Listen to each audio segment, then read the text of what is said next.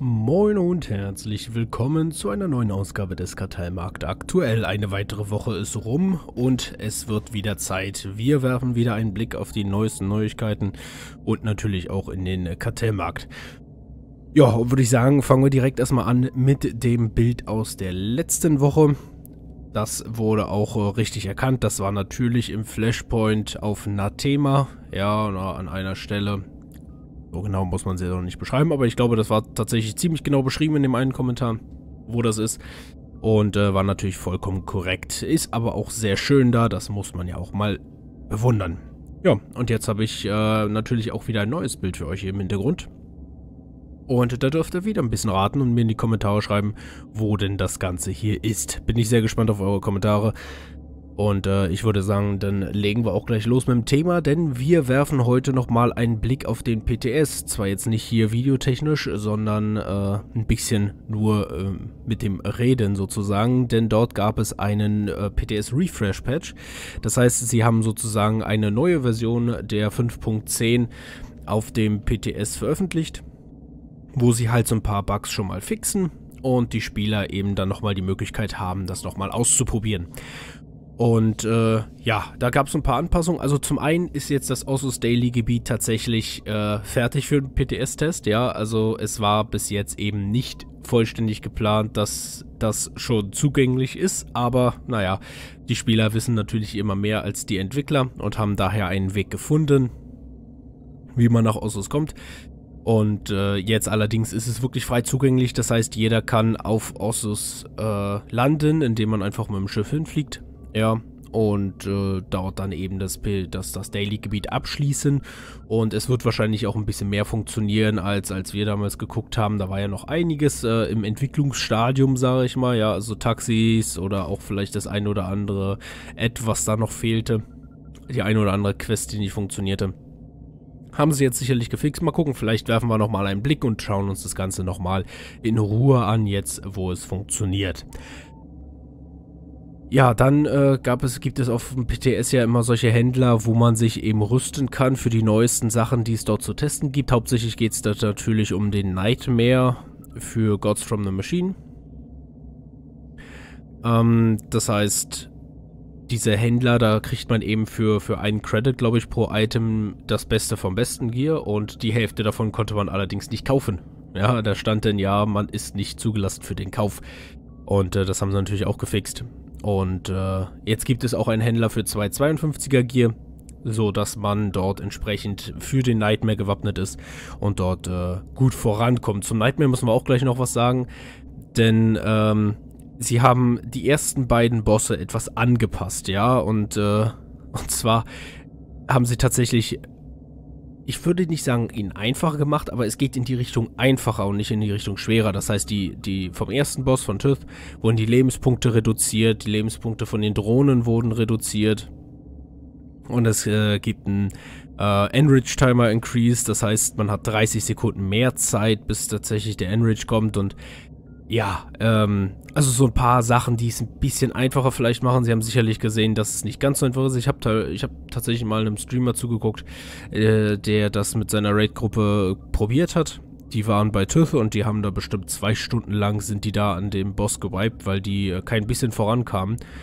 Ähm, also klar, ein bisschen voran ging es, aber es war nicht so, als dass ich gesagt hätte, okay, in den nächsten zwei Stunden schaffen sie es vielleicht noch. Also es war, es ist tatsächlich eine sehr große Herausforderung, wenn man sich das so von außen anguckt. Gut, okay, für die Nightmare Raider ist es sicherlich auch eine Herausforderung, aber vielleicht äh, auch nicht ganz so wie jetzt für jemanden, der nicht so gängig ist im Nightmare. Aber allein die Tatsache, dass nur die ersten beiden Bosse angepasst wurden, also Ivela und Esna auch noch, aber der dritte Boss nicht, da würde ich einfach mal vermuten, dass sie den dritten Boss nicht anpassen können, weil sie davon noch kein Feedback haben, weil die Leute da noch nicht sind. Ja, also Ivela und Ivela und Esna wurden auch eben ein bisschen angepasst und äh, klar, so ein bisschen haben sie es da vielleicht übertrieben. Wer weiß, äh, wie es tatsächlich aussieht. Ich bin auf jeden Fall gespannt, wie lange es dauern wird, bis auf den Live-Servern die Leute durch sind. Ähm, das ist, äh, denke ich mal, ist das dann so der neue Standard. Äh, wer das geschafft hat, der kann was von sich behaupten. Aber gut, das wie gesagt zum PTS, also jetzt Odessen live verfügbar, ja, kann man hingehen, kann man sich alles angucken und soll jetzt auch wirklich ein, weitgehend einwandfrei funktionieren. Natürlich aber, wenn ihr Fehler seht oder sowas, immer Feedback geben an die Entwickler, damit das auf den Live-Servern dann entsprechend sauber läuft. Dann würde ich sagen, gehen wir über zum Kartellmarkt und dafür wechseln wir mal hier ins Spiel. Und da bin ich äh, gerade hier auf meinem äh, Söldner unterwegs und äh, wir werfen mal einen Blick in den Kartellmarkt, haben dort jetzt äh, ja ein paar neue Sachen drin. Zum einen natürlich Flash Sale, der Grassland Varactyl. Für 450 Münzen kriegen wir hier also den Grasland Varactyl, einen grünen. Ich finde die äh, Varaktyle sind ja äh, sind immer noch mit die schönsten Reittiere. Auch von der Laufanimation her finde ich die äh, wesentlich schöner als so manch anderes. Ähm, allerdings, ich bin kein Fan von Grün. Deswegen äh, fällt der Grasland für mich leider auch weg. Aber es gibt äh, ein paar sehr schöne Varatyle und äh, ja, sollte man auf jeden Fall eigentlich einen von haben, weil die sind, die sind echt schick. Natürlich, Flash Sale äh, Varaktyl wird dann nicht mehr drin sein, wenn ihr das Video seht. Ihr kennt das Be Problem bereits. Ähm, deswegen guckt da auf jeden Fall rein. Jeden Tag was Neues. Merciless Seekers Armor Set. Ja, das ist ein Rüstungsset was so ein bisschen, ja, mit, mit Knochenplatten, sage ich mal, gespickt ist. Also wenn man sich hier die Brust zum Beispiel anguckt, ähm, oder auch den Helm, der besteht halt zum Teil aus Knochenplatten von irgendwelchen Tieren. Und äh, damit hat ein Mandalorianer hier sich sozusagen mit seinem Ruhm geschmückt, im wahrsten Sinne des Wortes, äh, mit seinen Erfolgen. Und äh, ja, ganz interessant, schöne Details, dreidimensional auch alles, äh, wie wir es gerne haben. Äh, auch das Messer hier vorne dran sieht natürlich ziemlich cool aus. Und ja, also 2260 ist natürlich ein riesengroßer Preis. Also das ist äh, doppelt so viel fast, wie, wie normal ein Rüstungsset kostet. Und äh, ist mir tatsächlich auch viel zu viel. Ähm, ist natürlich ein außergewöhnliches Set, muss man sehen, aber für mich trotzdem keine 2000 oder mehr wert. Aber gut, äh, wie gesagt, Preispolitik bei BioWare ist ja immer so ein bisschen fraglich. Wir können ja mal gucken, das gibt es ja auch schon eine Weile, wenn ich mich äh, recht entsinne. Wir können ja mal nachgucken. Merciless Seeker. Ja, gibt es nur in Bruchteilen und auch relativ teuer da. Also wenn Gürtel und Armschienen schon jeweils 7 Millionen kosten, ist natürlich auch ein Platin-Produkt. Für mich immer noch kein Grund, äh, dafür zweieinhalbtausend Kartellmünzen auszugeben. Gut, wir gucken einen weiter. Wir haben das Chaotic Force Masters Armor Set. Das ist ja eigentlich ein ganz altes Set, ja. Das ist ja noch aus äh, 1.0er Zeiten. Ähm, jetzt weiß ich gar nicht, ob das Tionisch war oder wie das damals hieß. Viel zu lange her. Das ist auf jeden Fall ein altes Set hier. Ähm, ja, ist immer noch ganz schick. Ja, kann man nicht anders sagen. Und äh, 1152 statt 1440 haben wir also 20% Rabatt drauf. Kann man machen für einen Hexer. Ist das sicherlich ein äh, ziemlich cooles Set. Ähm, für alles andere sehe ich das jetzt eher nicht so. Aber gut. Äh, wem es gefällt. Ich bin nicht so ein Fan davon, aber wem es gefällt, äh, 20% Rabatt. Hm, kann man schon machen. Ist ja auch ein goldenes Set, also ist ja jetzt auch nicht ganz so selten. Wir können ja mal nachgucken. Jetzt habe ich allerdings gerade den Namen schon wieder vergessen. Chaotic Force Master. Ah,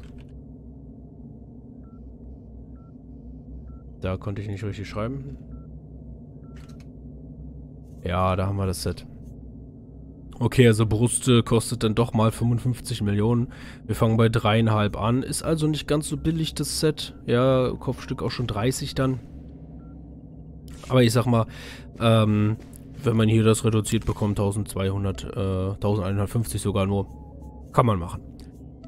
Dann haben wir den Marsh Hunter Eckley, ebenfalls 50% reduziert. Und jetzt ist halt so die Sache, warum kostet der im Normalfall 1500, Varaktyl 900? Okay, Varaktyl ist ein bisschen flacher von der Bauhöhe her. Aber äh, ansonsten, ich weiß nicht, also ich finde Varaktyl halt persönlich wesentlich schicker als so ein Eckley. Aber gut, ähm, jedem sein Geschmack. Ist aber natürlich auch vollkommen richtig. 1350, wir kriegen also 15% Rabatt. Eben von 1500 runter. Ja, für mich immer noch viel zu teuer, wie gesagt. Kann man allerdings machen, ist jetzt ja auch nicht ganz so, äh, ist ja immer noch ein Reittier, ja, so rum, ist ja immer auch immer noch ein Reittier. Dann haben wir Technolith Matrix Weapon Tuning. 30% reduziert, 1260 statt 1800. Natürlich auch ähm, immer noch viel zu viel, für, finde ich, für so einen kleinen kosmetischen Effekt, den man auf eine Waffe anwenden kann. Weiß ich nicht. Also, äh, halte ich immer noch nicht viel von. Und dann haben wir hier das Imperial Bastions Armor Set. Und da haben wir 1440 ganz klassischen Preis und wir kriegen hier einen, ein Rüstungsset, was, ja, so ein bisschen Sith Lord, also so, für, für einen Sith Lord, ja, auf jeden Fall. Dann haben wir hier diese Spikes auf der Schulterklappe. Ist natürlich auch ganz schick. Wir haben so ein bisschen auch das Ganze dreidimensional angelegt. Außer das hier unten, das ist natürlich alles wieder nur aufgemalt.